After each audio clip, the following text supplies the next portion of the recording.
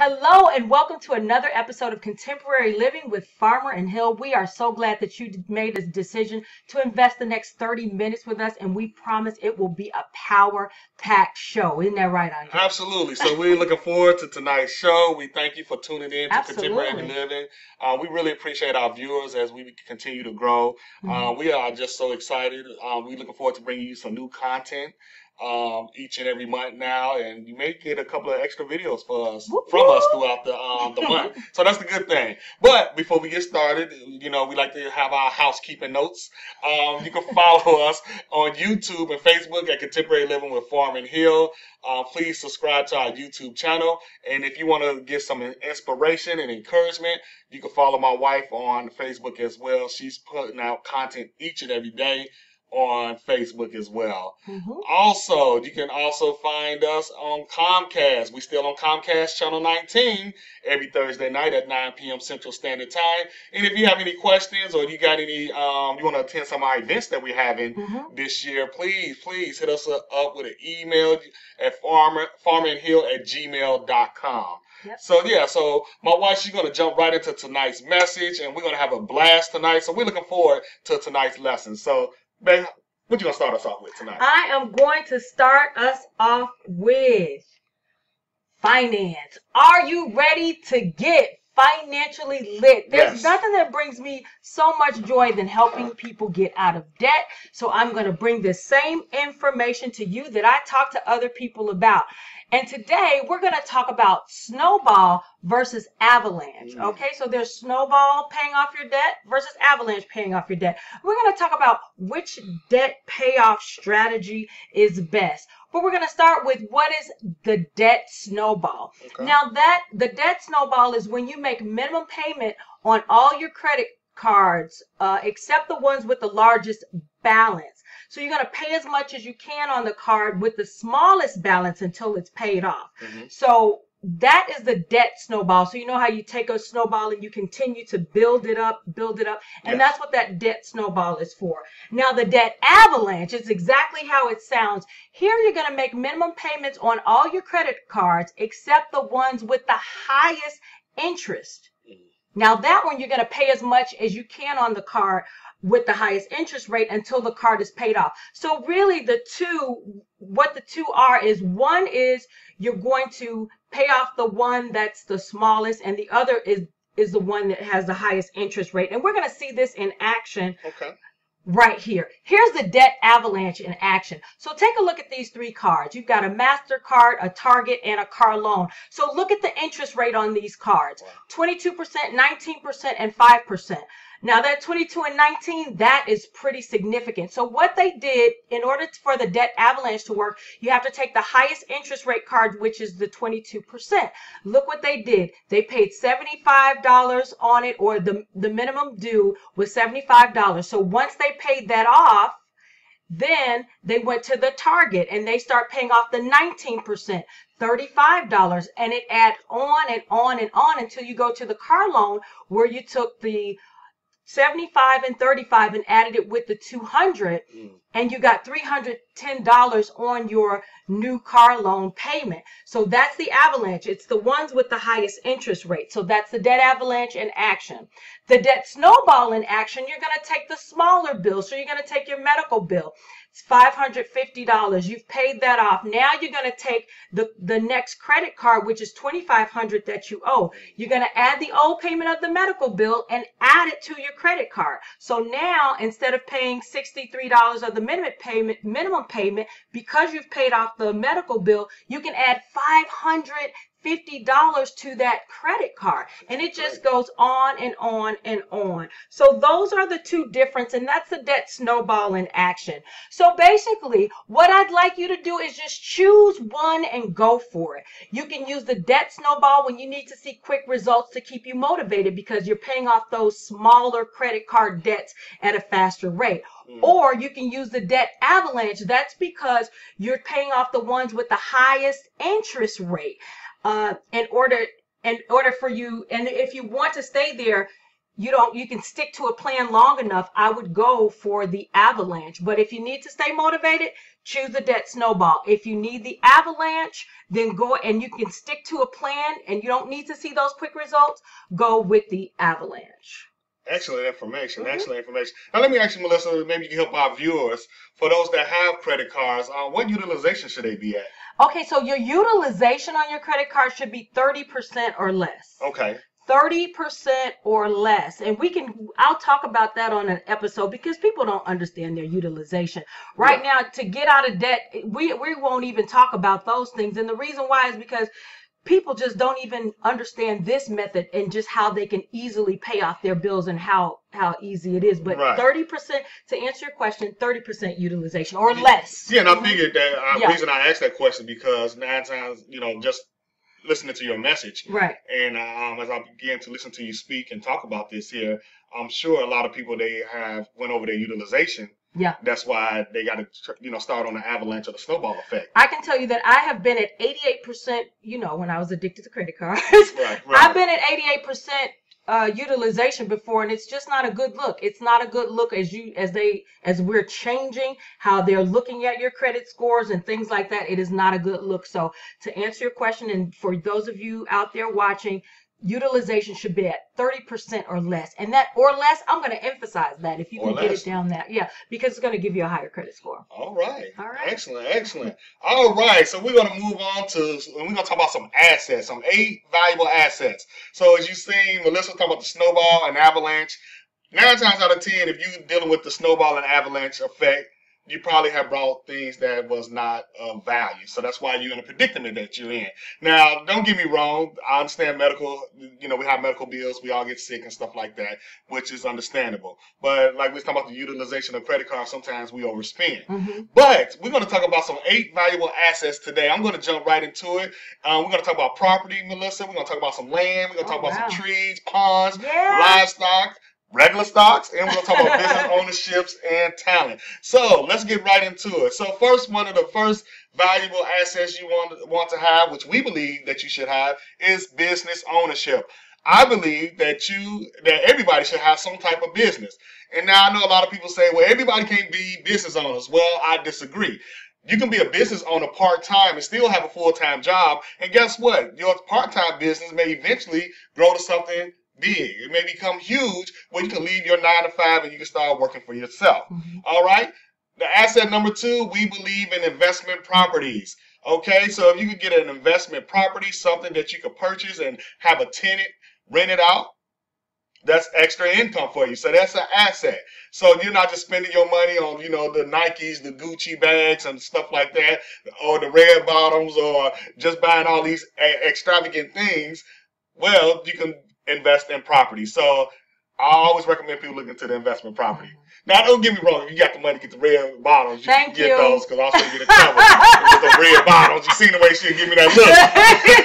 so, so Some people can't afford Right, red right. Some bottles. people can afford them. You can afford they it, don't worry about it. these things. Right, so investment properties is good because you got to think about it. If you say, for instance, you purchase this beautiful home here, and we're going to say That that is a pretty house. Right. We're going to say that your monthly mortgage is a thousand dollars, and we're going to say that you put a tenant in here, and they're paying eighteen hundred dollars a month for this four bedroom, two bathroom house. All right. So once you pay that thousand dollar mortgage to your bank each and every month, that the tenant's going to pay for, because that's your tenant, they pay you monthly for their rent. You still have an eight hundred dollar cash flow. Mhm. All right. So remember that there. As we move on, we are big on land for crops, food, and water. This is very important. I believe this is vital.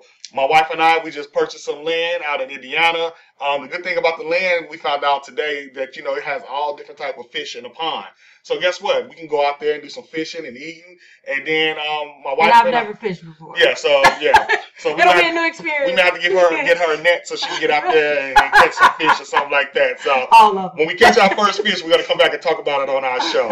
And don't forget, you can also, um, if you grow your food, you can sell it as well. So you know, it's nothing like organic fruits and vegetables and stuff like that. So remember that. Also, another asset that people sleep on: owning land with trees. We looked at some land um, about a, about a month ago, and this land had was filled with trees. It had walnut trees, it had some hickory trees, it had oak trees, it had maple trees. And if you understand trees, you know that your that Furniture is made from trees. Tools made from trees. Maple syrup. One of the one of the trees was a maple tree. So guess what? You got maple syrup as a means of food. And guess what? During this time of year, you probably want to light your fireplace.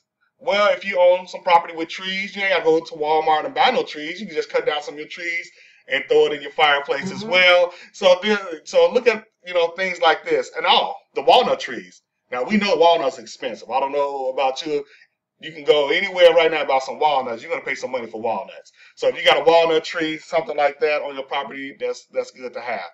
Also, don't forget and sleep on your livestock. So you know, if you like your cattle, if you like chicken, I know we buy a lot of eggs. Um, stuff like that is good to have. Livestock, livestock is good to have because you know my wife she loves pork chops and she loves steak and stuff like that. So you know I gotta throw her under the bus while Really, we're here. really? I love pork chops. right, right, yeah. So, but I do. I do. but, but livestock is good to have. And once again, not only that, you can sell some of your livestock as well, and you can make a profit as well. So these are assets. This is something that you can pass on to your kids' Mhm. kids. Okay. Also, catfish pond. If you can find some like a land that has a pond or lake like we found, you can go out there. and You can catch some catfish. Oh, we also she got to learn how to you know gut the fish as well, and uh, Mm. and you know Okay. get, get, get the skin off of it, you know, all that good stuff. So she's gonna be learning how to fish this year, and she's gonna be learning how to uh, clean some fish. So we, I'm gonna let y'all know how that go. All right, so yeah, something like that. And these, like I said, these are assets. These are ways not only you, this not this is good for survival. The other long is good if you want to make some extra income as well. All right, and you can play the long game, the stock market. So I know a lot of people still, you know, they you want to learn the stock market, do some research.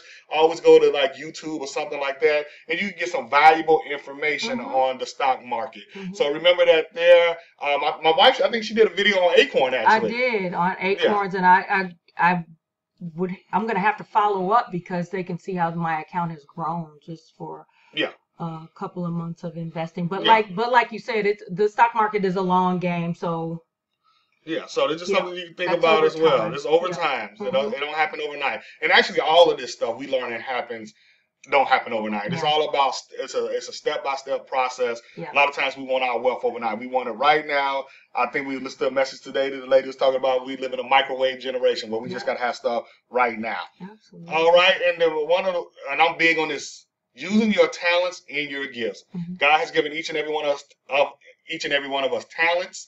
Make sure that you utilize your talents. Don't be that person that bury your talents and then you go to the grave with your talents. Invest in yourself. We're big on investing in yourself. We we invest in everybody but ourselves. We invest in family, friends. We invest in a lot of these big name companies out there. You know, I always tell people instead of you buying the 300 400 dollar Nike shoes, why don't you buy some Nike stock? Mhm. You know, so we got to look at it from an investment standpoint as well. So definitely invest in yourself. And I think those seven things were great because you show the difference in what's an asset versus the things that people would normally buy, like the red bottoms and the Gucci's Yes. and, and a six hundred dollar car payment that you know Yeah, people just see. Uh, that, that's a lot. investing in yourself, starting with those assets, is really important. I think you hit it on the head. Yeah, so I hope that was um, educational. Help, help that was able. To, hope that was able to help somebody. Absolutely. All right. All right, we're gonna go into a more somber Ooh. topic because uh, this is happening and it's happening at a rapid rate of speed. Today, we're going to uh, talk about depression. Mm. And there are many people that suffer from depression. I think I have a stat here. Uh, but the things that you need to know is that depression is a real mental health condition. And there's that number. It affects more than 16 million American adults each year. Another thing is depression can occur to anyone at any age and to people of any race or ethnic group. Now, of course, I'm always concerned about black people. One of the things I found, or African Americans, it and one of the stats showed that among many black people and other groups as well, mental health issues are often not considered to be medical issues. They consider it to be a character flaw or a sign of weakness or a private matter. So they don't even a lot of a lot of us, a lot of African Americans, a lot of black people don't even look at depression as a real mental health condition. That is a medical condition. And then last but not least, here's a, another factoid. Teen depression is on the rise. So not only do we have the 16 million American adults each year that suffer from depression, but teen depression is on the rise. And I thought this is something worth talking about, and I thought it was something you know worth worth looking into. So um, when it comes to depression, you just can't wish it away. You just can't say, oh, you know, it'll let me just sleep on it and things like that. Because there's a difference between being sad and being depressed. Depression is a medical condition. So you don't just wish it away. And some of the things that you can, that some of the characteristics that come out are you get no pleasure or joy in life. Hmm. Everything feels hopeless. Your your self-esteem is low or you just don't have any at all. Sleeping becomes problematic. You can't sleep and you don't understand why. Your energy level has decreased. It's low. You're either overeating or undereating to compensate whatever these feelings of depression are. Uh, you have trouble focusing or concentrating. Alcohol and drug abuse can come into the picture. You're constantly crying or agitated, suicidal thoughts, and you know they link depression with suicidal thoughts, and then unexplained aches and pains. So these are some of the symptoms or characteristics that can occur when you're depressed. So some of you may be going through this and not even know that it's depression. Mm. And that's why you do have to seek a professional, you have to seek medical atten- attention because it is depression is a medical condition and you just can't wish it away. So here's some possible causes, genetics. It could be it could be, you know, passed down through generations that depression is a common occurrence. uh, You know, something that happens. Life events can can really throw you off into, you know, a significant emotional event is what I call it, a C that can throw you into a depression. Hormonal changes as women change, as men change, these changes can cause these mental breakdowns. Certain illnesses can cause you to go into a depression. Of course, we keep mentioning drug and alcohol abuse because you know sometimes we we do do that. And then some medication. So those are some possible causes uh, for depression, but we don't really know why. Now, this is the when to seek professional help. Now, if your symptoms of sadness or of dep- or depre- of depression are causing problems with relationship, work, or your family, and you you can't see a clear solution, that's a sign that you may dep- be depressed and need to see a doctor. Seek medical attention. If it's if you hadn't had a significant if you've had a significant change in your mood and your physical symptoms so like you're you just want to lay down all the time and you don't feel good you feel hopeless and you know you experience this most of the time throughout the day and then it lasts for weeks or longer you've got to see your doctor. This is serious. And then if you are self-medicating see a lot of us you know use drugs or alcohol or using other addictive behaviors like they don't go home or they'll do something else they'll put their attention on something else. Though they're self-medicating. You've got to take care of the problem. You can't self-medicate to feel normal. Please please please see your doctor. It's imperative that you do that. And if you're feeling this way right now right now, what I want you to do, you can go to betterhelp.com and get some online counseling. They're 24 7 and they give online counseling. Or, like I said, that, that link between depression and suicide is really serious. There's a national suicide prevention hotline. So there is help for you. And that number is 1 800 373 8255. I'll repeat that again 1 800 373 8255. Five. And if you you can also go to the suicide prevention lifeline.org. You can also go online, suicide prevention lifeline.org. And I'm just going to say that really this really quickly. I had went to remember I went to I was I think it was San Diego Yeah. when I went to go see uh, Lisa Nichols and uh, we had like a group thing and one of the one of the ladies in the group she worked on the suicide hotline and I was telling her how I wanted to help women veterans and do different things like that. She says, please do, because she's been working on the suicide hotline for a couple of years now. And over these years, she's seen a rise in women veterans being depressed and on the verge of suicide. So that really spoke to my heart and placed it upon my heart to just make sure I'm getting the information out there, making sure I'm helping these women. And that is why, you know, debt. That's why I like to talk about debt because that can lead to depression also. But the most important thing, if you don't get anything else out of this slide on depression, get help now. There's the information. And that's all I have to say about that. Wow, that was an excellent segment, very powerful. Um, and people got to understand, understand people that you are you are loved. Yes. And sometimes you may feel like people don't love you, you know, but people love you. Um, and you know, and just you know, just continue just to be strong. And like Melissa gave out the information, you know, for you guys to you know contact somebody for help. Your life is valuable. Your life is important. And we need you here. Your family needs you here Right. because you may be a person that can reach out and touch somebody as well. Everyone has Yeah. purpose, Yeah, right? everybody has purpose. So Mhm. understand that you have a purpose and that God did not make no mistake. Not You're one. here for a reason.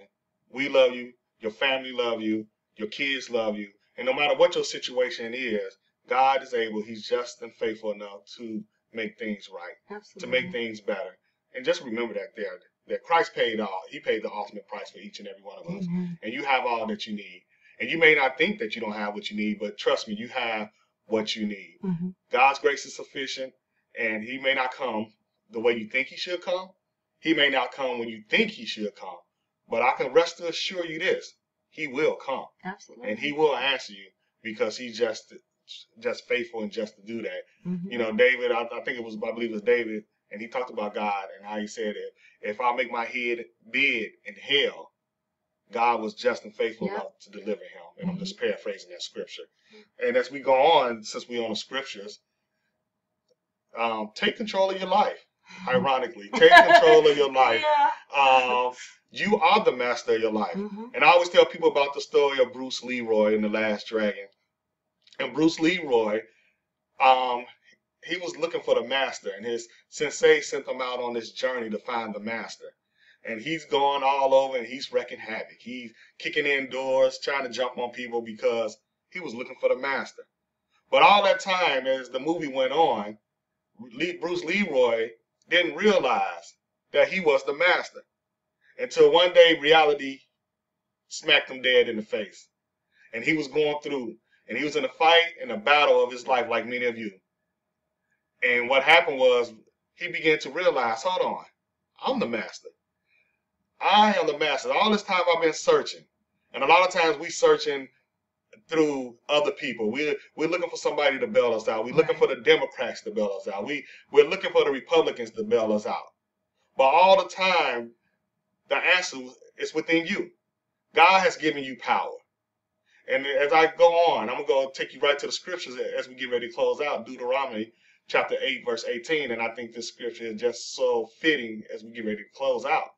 For as always, I always start off with 2 Timothy 2.15.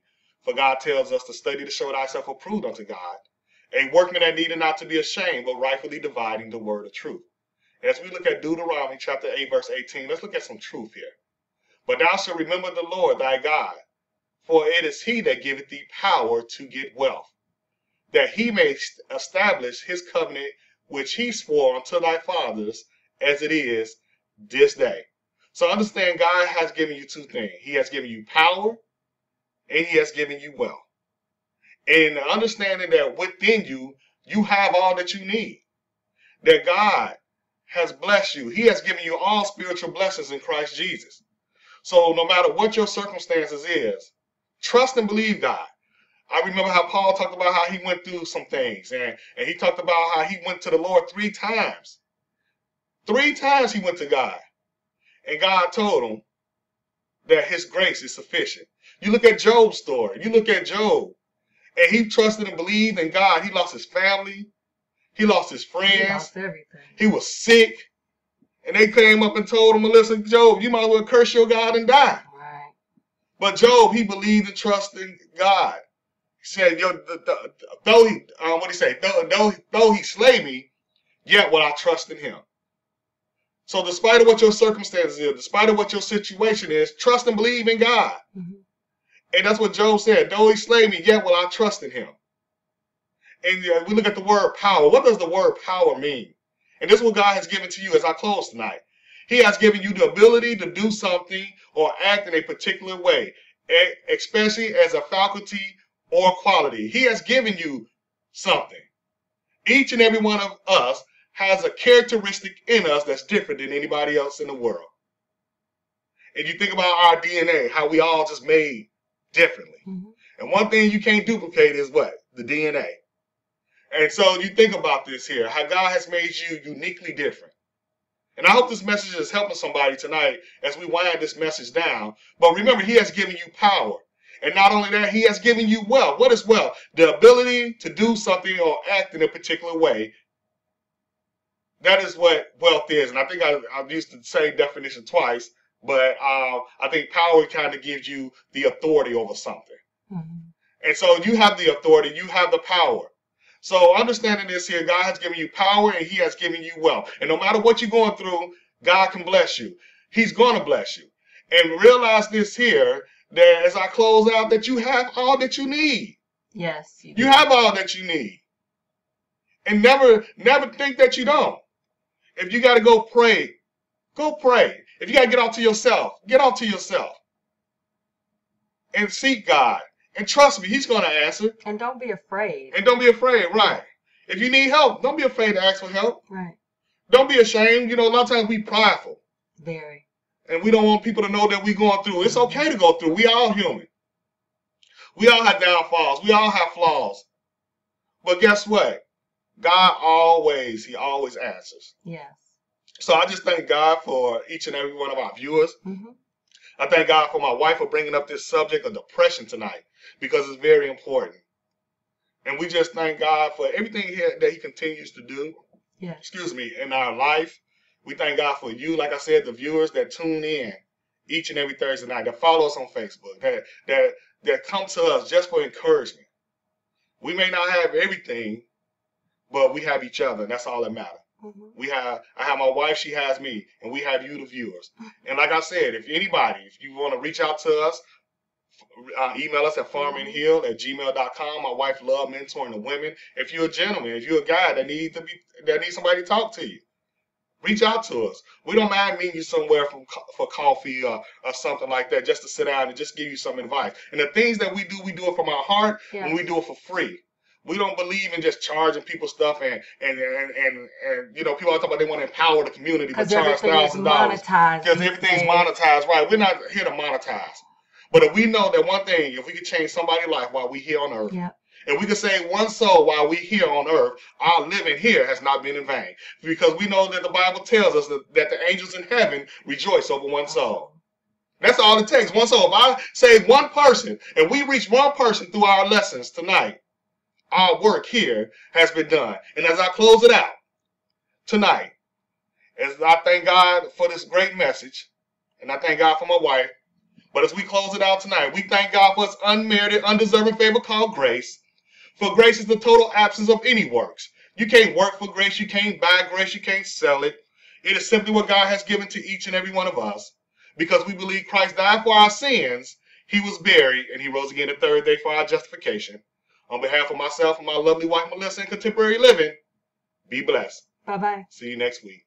God bless.